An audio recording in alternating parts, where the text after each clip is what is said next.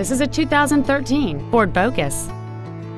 It has a 2.0-liter four-cylinder engine and a six-speed automatic transmission.